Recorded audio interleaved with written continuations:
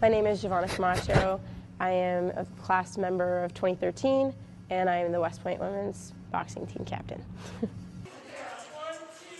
Gio is everything to this team. She's probably the reason I am so in love with this academy and West Point today. She's a founding member, she's a team mom, she's my sister. She is the best friend I could ask for.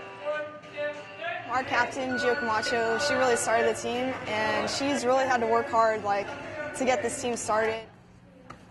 Boxing is like my life. I can almost say I can attribute it to anything in life.